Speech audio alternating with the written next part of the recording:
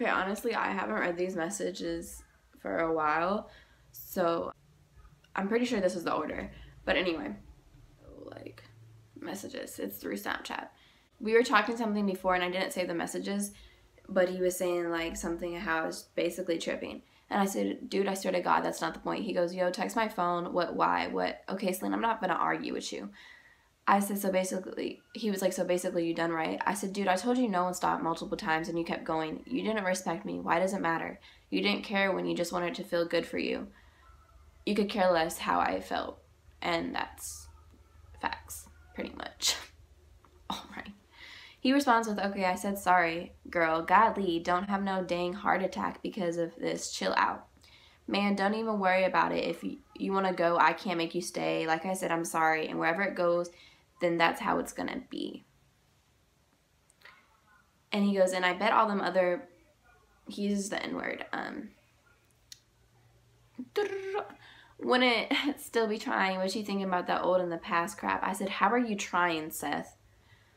I was about to say his name for a second. Oh crap. Goes, ain't nothing else more to say, like you said. I disrespected you. Ain't good on my part. I said, yeah, I didn't want that at all. He goes, I understand. I said, I'm just not going to respond to that. He goes, I, I guess you can just text me when you're ready. I, he said, blah, blah, blah, sorry. He said, I, I guess you can just text me when you're ready. I, how many times did you gotta say I? Okay, let me stop commenting to what he's saying. All right, what he said. I said, ready for what? To be disrespected again? Did you even like me or did you just want to hit like your rose did? At any time when you were doing what you did, did you ever think that this will F me up mentally again? Because you kind of know my past. Does the word stop mean anything to you? Do you know when a girl says stop at any time that can be classified as rape? And I told you I don't like to, I'm going to leave that part out. But you made me, so ready for what? To just be your sex toy? Which again, I should have been smarter. You wanted to F. That's exactly what you said in our messages. I guess I was too dumb to just think you just wanted to chill.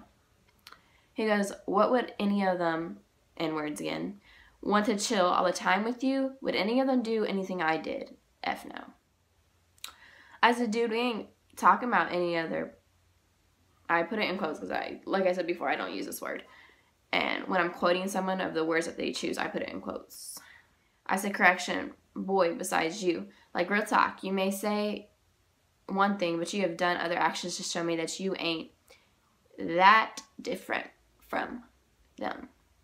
I feel like my ghetto kind of came out right now because like my grammar didn't make the most perfectest, perfectest, see, I can't even talk.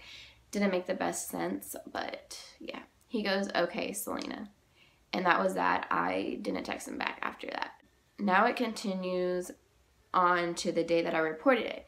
I reported it September 10th when I saw him at my homecoming dance. Mind you, he doesn't even go to my school. So I was so confused why he was there. I was like, oh my gosh, is he looking for me? Like, is does is he why is he here? Like he doesn't go to my school. So I was flipping crap. And at this time, only two people knew that I've told, and one person I didn't even want to tell, but um, she was kind of there and she was talking to me, and then I just broke in class, and then I ended up telling her, and I was semi close to her, but a lot happened with that person. We didn't go and give her name because that's another day for another story. And this other guy that I had at the time, he was like my best guy friend, and I told him what happened to me, so he knew what was happening. I see him and I freak out. And so I'm asking people, I'm like, hey, okay, so my best friend's name is gonna be um, Nick. So Nick, I'm asking where's Nick? I'm like, dude, where's Nick? Like I need to talk to Nick. Where is Nick? And they're just like, he's not, he's with his girlfriend. Like I don't know where he's at. And so I'm freaking out. And I was like, I need Nick. And they're like, okay, what's happening? Like, why are you freaking out? Just calm down. Like, we don't know what's going on with you. But, you know, pretty much like, this is a dance. Can you uh, chill out? I finally find Nick and I'm telling Nick, I'm like, Nick, he's here. And he was like, Are you serious? Like, where is he? And I point him out. And the first thing he says, I remember he was just like, Wow, okay, that dude is really tall. And I was like, Yes, I know. I just go into this complete trance. Like, at this time, like, I am not really in reality. Like I feel like I was doped up on some drugs or something because I was totally zoned out of reality. I go, I get in my car and I drive off. At this time, my mom came home that night before because we went to the airport and got her. And I I am not someone that really gets that emotional when I see a parent that I haven't seen for a long time. Like I am emotional as it is already as a person, but I don't get the type of emotion that I did that day when I saw my mom. I'm closer to my mom than I am with anybody else. And I just wanted my mom, like I just wanted to feel safe. And my mom is the one that I feel safe with the most. So I go to go see where she's at and I we finally get that message that she just landed. My head was everywhere. I was just trying to listen to my music, get my mind off everything. And this is in the same night as the homecoming, so don't get that those two days next up. I see her and I literally rushed to her like I was separated at birth from her. I embraced her so much. Like I was just hugging her and I was just like, I missed you so much. And I was bawling. She's left before and I've never reacted like this when I saw her. So she knew something was up, but she didn't really know. Back to homecoming night. So I get home and I go straight to my room. So she comes into my room and she was like, baby girl, what's wrong? Like what's happening? And wow. Um, I look up to her and I said, I'm sorry. She goes, What are you sorry about? I said, I didn't want to tell you. She said, Tell me what? And I said, Mom, this is what happened to me when you were gone.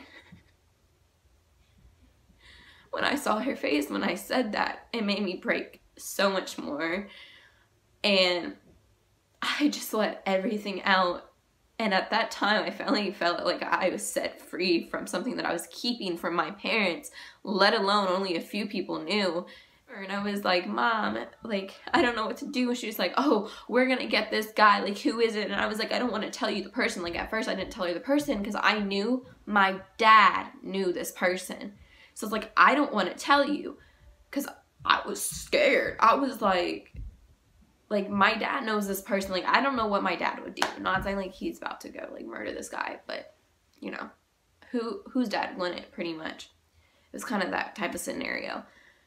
Like you just touched my daughter and you did this to my daughter. I called the cops that night and I reported. And I had to tell my story to two cops that were there. It was like a woman and a man. And they were asking me questions and stuff, of course, you know, investigating and they asked me if I still had the clothes from that day. And I was like, no, I don't. I don't know. I forgot what I was wearing. I just remember I was wearing leggings. I don't remember like the panties I was wearing or anything like that. And have you took a shower since that day? And I said, yeah, of course I have. I guess they thought that day is when it happened. And I was just like, no, yes, I've taken a shower. So we didn't hear from the cops for a couple weeks. And then I get a call. We're going to call him Mr. Curry. We're going to call him Mr. Curry. So, Mr. Curry is like my detective. Come to this building. This look is this location and I need you to tell your story again so we can get a written statement down and all that. An investigation is being done. And at this entire time, like I had to stay silent. I couldn't tell anybody. And they told me like if I have already told people not to say anything more. So um, the people that I already told were like just a couple of my close friends. I did have a list of the people that I told because I knew like if it went out, like I was gonna know who told. Long story short, I didn't have enough evidence because clearly the evidence that was on my phone, like the messages, he tried to plead that it wasn't him that was texting me and all that. And this email, this email, can't really see it. Yeah, I can't show you because it has the name, says name in it. So I'm going to read you the email. It says, I've concluded my investigation to include speaking to Seth in reference to these allegations. One issue that we came up that he was 17 year old 17 years old when this incident occurred and turned 18 shortly after. This issue with that is at age 17 the incident falls in the juvenile court system. The juvenile court system is for the rehabilitation of juveniles. I probably said that wrong, but my bad. Of juveniles in an attempt to prevent them from continuing their behaviors into adulthood. First of all, I don't care if this guy just turned 18. He knows what he did when he was 17. Like this email, like, you don't understand the amount of destruction it caused on my heart when I read it. I was so furious. I was like, are you serious right now? Like, so many of these people want girls or boys to come out about what happened to them, but the juvenile system can't even freaking do anything. I was so ticked. He says, with him now being 18, he does not fall under the realm of the juvenile court. When I interviewed Seth, he denied all allegations. Of course he did. Also, Seth advised that the screenshots that I showed him the messages were not from him. I have done all that I feel that I could be that could have been done. I offered a polygraph to Seth and he refused to take one. I cannot force him to take one. I wonder why he didn't take it. With the district attorney's office in reference to this case and that they have declined prosecution based upon the inability to uh, to cooperate the statements made. Cooperate, cooperate, yeah. The differentiation of statements between the victim and sus um, suspect and the lack of supporting evidence. So basically, long story short, I couldn't go to court because I didn't have enough evidence because the messages weren't enough and I didn't have a rape kit and I didn't report it until a couple days after. So yeah, that is basically the sum of that day, how I met the person, um, how I met Seth, and when I reported it and how I didn't get justice served to me because I didn't report it immediately after and I didn't have enough evidence. So yeah, stay tuned for the next video. The next video will be mainly about what I used to like post on Snapchat and also it will be about the aftermath, like things I had to face and things that I struggled with for a long time that most people didn't know. Like they could see it, they could see a dramatic difference between my behavior, but they didn't understand what was happening so yeah, stay tuned for that video. Until then, I will see you later.